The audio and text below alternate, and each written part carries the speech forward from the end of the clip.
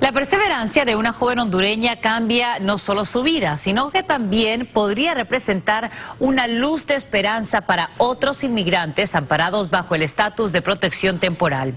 Desde Miami, Yali Núñez nos cuenta cómo la estudiante de Derecho que le presentamos aquí en Despierta América hace unos días logró convertir un no en un sí.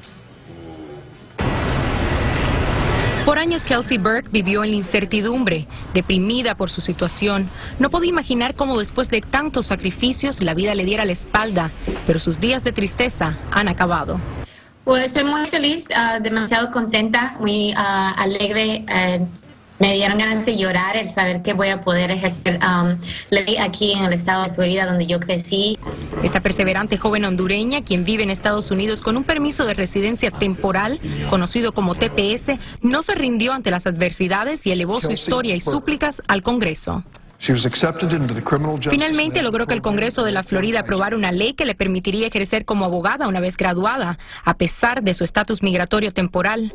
Ahora su nueva meta es ayudar a otros a lograr los mismos objetivos. Quiero ah, practicar ley de inmigración, entonces poder ayudar a otros inmigrantes um, que han pasado o están pasando por situaciones similares, al igual ah, que para poder reunirse con sus familias.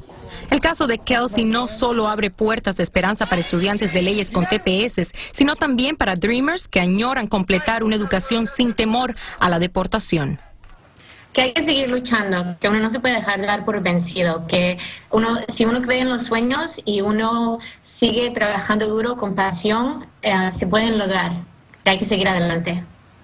Solamente falta que el gobernador Rick Scott firme la ley. Hay varios estudiantes alrededor del país en estas mismas circunstancias, pero las cifras no son oficiales. Desde Miami, Florida, Yali Núñez, Univisión.